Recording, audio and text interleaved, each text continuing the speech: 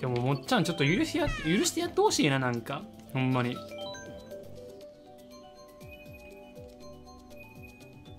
ゆゆ許すというかもう放置しといたらええと思うわ。そんなガッて攻めんとさ。攻めるというか別に攻めんのはええねんけどリアルに持っていくのはちょっと俺見てられへんわ。ちょ俺も似たような経験があるから。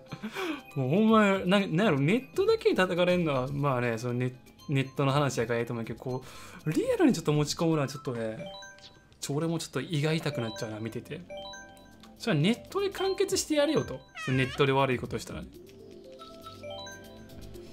もうそのなリアルが絡んできた時の胃胃とかの痛さ俺は分かるからなもっちゃなんかなんか辛いことがあって俺に相談してくれ。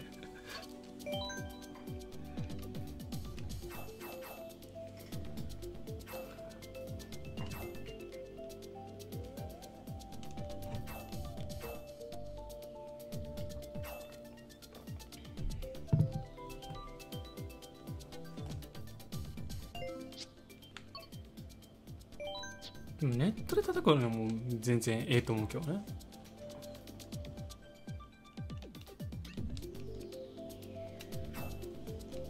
ポケモン界引退で勘弁してやってほしいわ。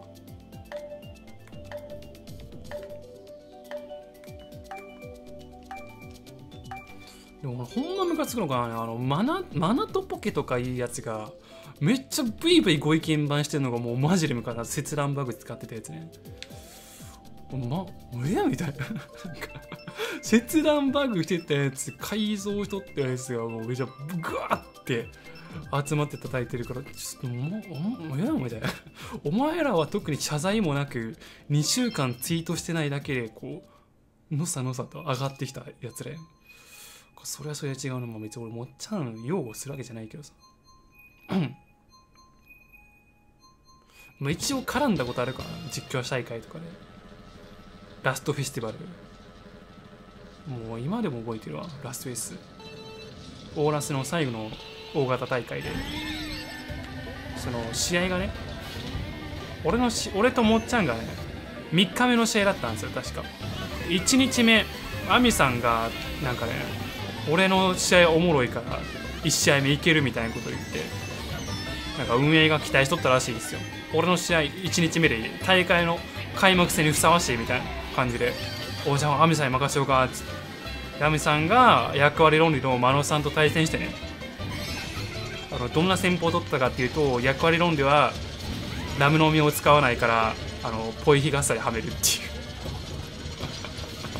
戦法を取り、えー、ただただポイヒガッサではめてるだけの動画を40分垂れ流してちょっと「ん？ん?」みたいな。視聴者が「ん？まあまあまあでも考察とか面白かったしやっぱ実況大会ええよなみたいな、えー、2日目。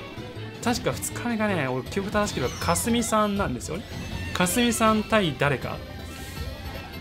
であかすみさんがあの水統一なんですけどその対戦相手がこのかすみさんの水統一を倒すにはどうすればいいかっていうのを考えた結果あのキロガッサ キロガッサを使うっていう。で2日目、えー、キロガッサにボコボコにされる水統一が見られました。これやばいぞと。これこれ完全にやばいぞと、えー、3日目僕の番です。ただやっぱねラスト甲子園という伝説の大会から僕はようやく2回目の実況3回目なんですけど正確ね3回目の実況大会僕あゆみんならこの状況を打開してくれるそういう期待期待のもと試合に挑みました。バースもっちゃん戦。えー、対戦相手のねバシャーモバトンからのボルトロス。ボルトロスの悪巧みもうこれ絶体絶命ですよね。この状況でアブソルの追い不意択に勝利し最後、えー、ボルトロスがね不意打ち目でバシャーモに下げてくるところに追い打ちをしっかり高紙で当てるという神展開、えー、その後、えー、キノガッサが出てきてポイヒガッサが出てきて3タテされて負けました。ポイヒガッサにガブリアスクレセリアブソルがボコボコにされて終わりました。そんなね楽しい大会でしたね。俺はだからもっちゃんはやっぱ戦友一応戦った戦友やからなるべく擁護してやりたいという気持ちが一応ラスフェスっていう大会そのラスフェスって大会優勝もっちゃんさんなんですよ。なんか最後エレジーさんと決勝をやってまあその時にはみんな見てなかったんですけど。決勝エレジーさんともっちゃんの対決で、ね、もっちゃんが勝ったんですけど。まあ今一応話としてはじゃあもっちゃんをまあ除名にして エレジーさん優勝ってことにしないかっていう案は多分あるんじゃないかな。繰り上げで繰り上げでいくんだったら俺も1戦目勝ったことにならんかな。